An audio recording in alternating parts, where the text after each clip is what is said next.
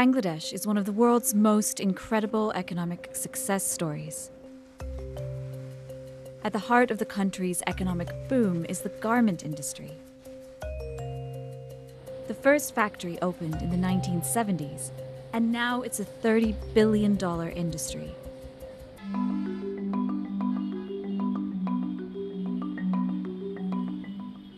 Bangladesh is the second largest manufacturer of ready made garments in the world.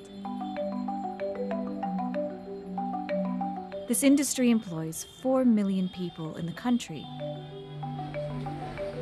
85% of them are women.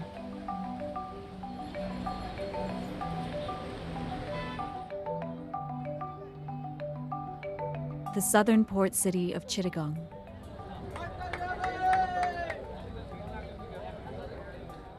Most of the clothing in these factories is made for fast fashion brands in America and Europe.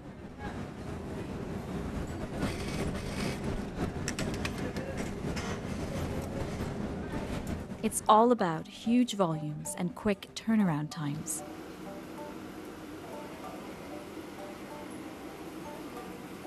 Mostafiz Uddin is on a mission to transform the future of fashion here.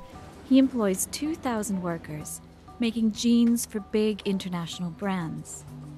When he built the factory 11 years ago, Mustafis focused on creating a safe working environment.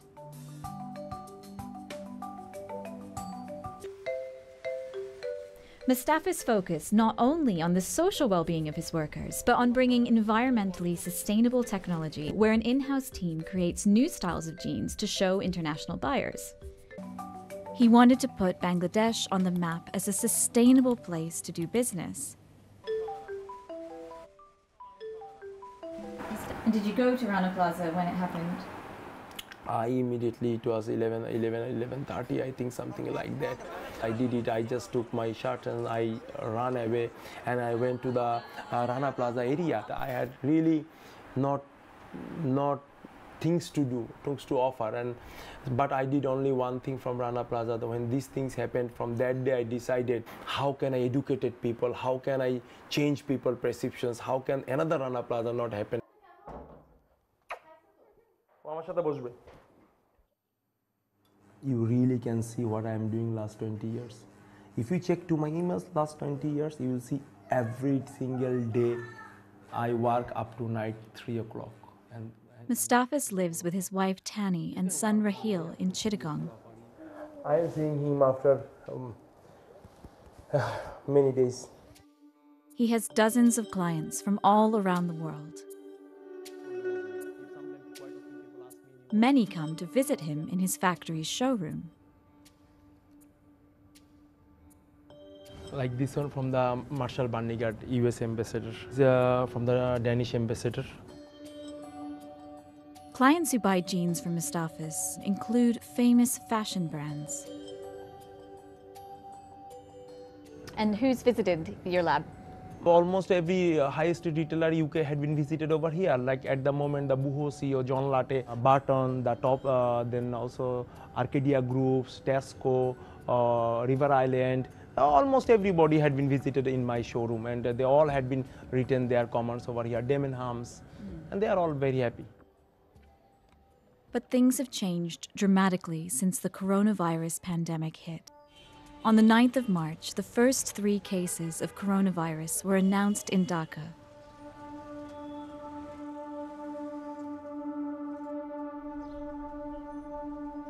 On the 26th of March, the government ordered all factories to lock down.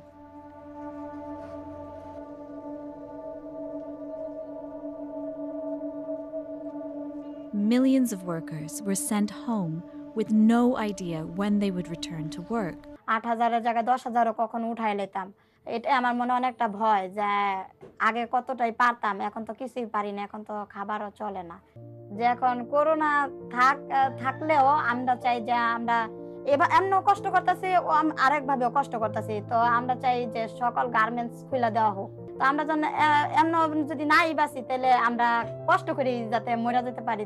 তাও আমাদের একটা স্বার্থ থাকবে যে আমরা না, আমরা কষ্টর ধারায় হইল ওইভাবে এমনা আমরা ভাতে মরতাছি না হাতে মরতাছি না ভাতে মরতাছি।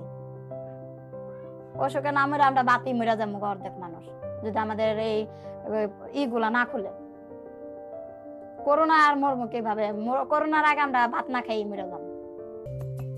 But could the coronavirus erase decades of progress in a matter of months?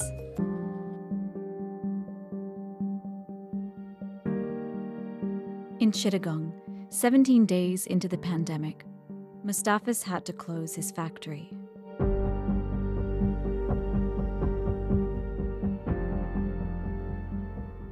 He was receiving emails from buyers cancelling their orders.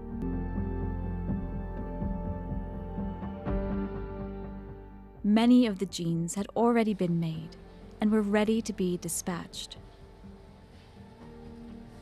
Some had already been shipped. But some customers were saying they were no longer responsible for the payment of their order or were putting payment off indefinitely. See all these just jeans and those made for the UK High Street. They just keep here like that. How many days I can keep the jeans like that? Where I have the space? You can see by yourself there is no space. Everywhere, everywhere, same, everywhere you can see there is no space and it's not also safe for the working condition. Mostafiz pays for all materials to make the jeans up front. He borrows money from the bank for the denim and his workers' wages. He generally receives payment on delivery of the goods, not in advance. You can see all these fabrics, they are from Pakistan, China, India, Turkey, and all these fabrics we bought from our manufacturing partners, our suppliers, and they trusted us. They had produced these fabri- fabrics uh, when we said them to do it, as like as we trusted to our uh, buyers, Peacock, and all, all, all these people. The same thing, our fabric suppliers also trusted us, and they produce and then they ship. Now, if you just look into all the all these fabrics, the, these these are all all dollar. These are all here around five to six million dollars of fabrics in this warehouse, and all the fabric we borrowed the money from the bank, and then we purchased this because we trusted our clients and we thought that we will ship them. They simply canceled the orders. They said that we don't want it. One of the companies that cancelled a large order was UK high street retailer Peacocks.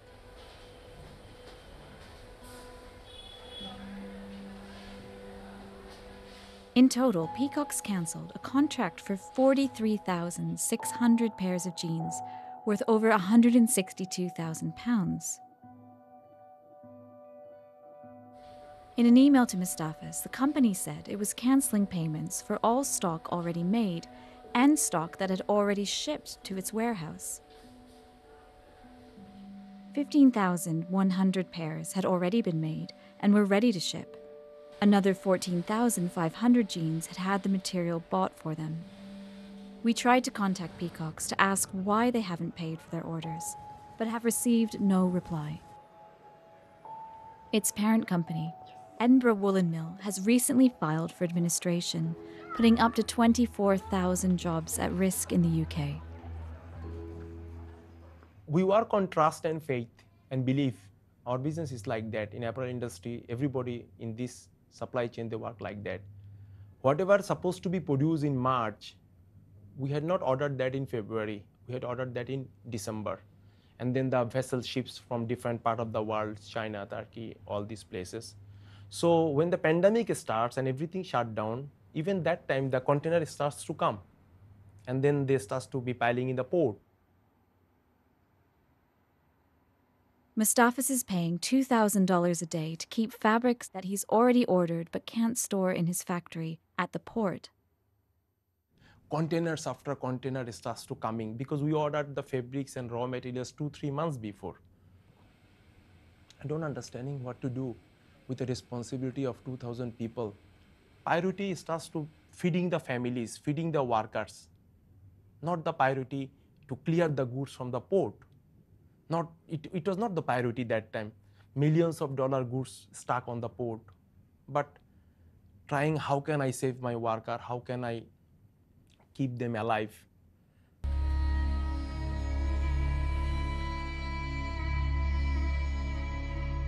Mostafiz received some support from the government in the form of low interest loans to help cover salaries.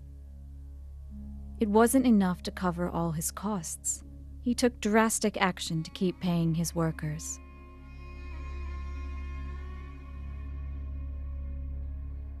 I sold uh, my property, all the property. Even the house where you are sitting now, that also sold. This one also. This is my only house I'm having.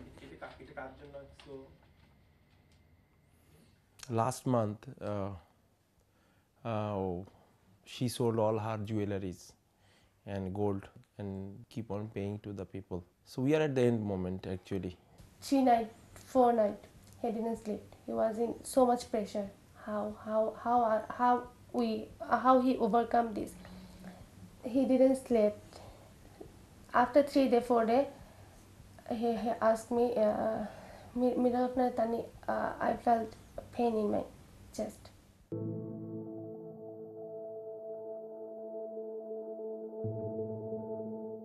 At times, things were very difficult.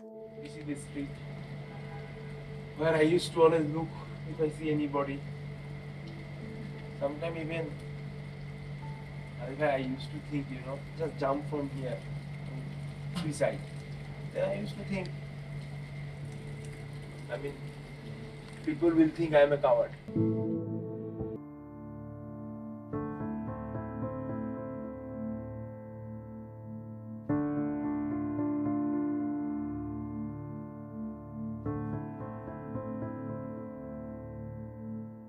Mostafiz's factory reopened after one month. Six months on, some buyers have now agreed to pay for orders they had cancelled. Many are still insisting on a discounted rate. Mostafiz has taken on deep debts. I am suffering. I'm a part of the suffering, but it's not that I am I am the only person suffering. We are suffering. The global manufacturers are suffering, and because it's not happened only in Bangladesh.